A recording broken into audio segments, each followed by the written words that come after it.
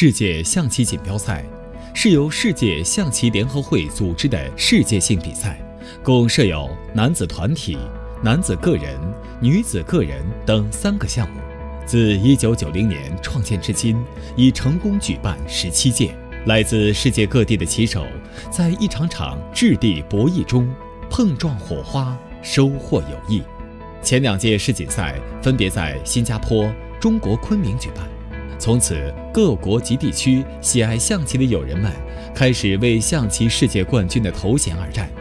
第三届世锦赛与世界象棋联合会成立开幕式在北京中国棋院同时进行，共有来自二十余个国家和地区二十六个代表队、八十七名棋手参赛，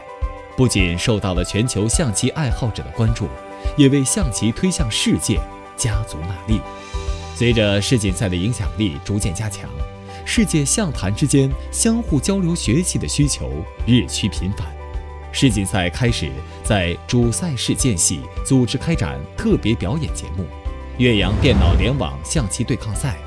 特级大师胡荣华车轮战等不同形式的活动出现，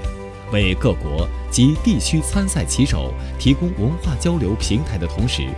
更把象棋艺术的魅力。发挥得淋漓尽致。二零零五年，第九届世锦赛在法国巴黎举行，这是世锦赛办赛以来首次走出亚洲，在欧洲举办。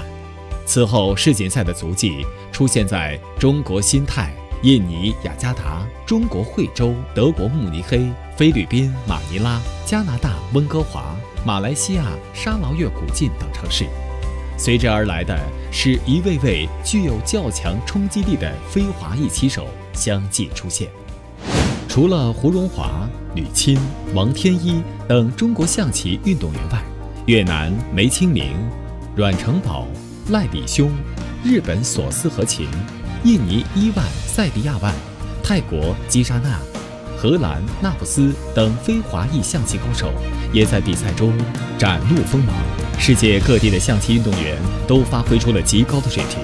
为全球观众呈现了一场场精彩绝伦的智慧盛宴。世锦赛代表着象棋运动的最高水平，不同国家和地区的运动员通过比赛交流棋艺，增进友谊，共同推动象棋运动的不断发展和提高。二零二三年十一月，第十八届世锦赛将在美国德克萨斯州休斯顿举行，这将是美国首次举办这一赛事。诚邀全球象棋爱好者共襄盛举。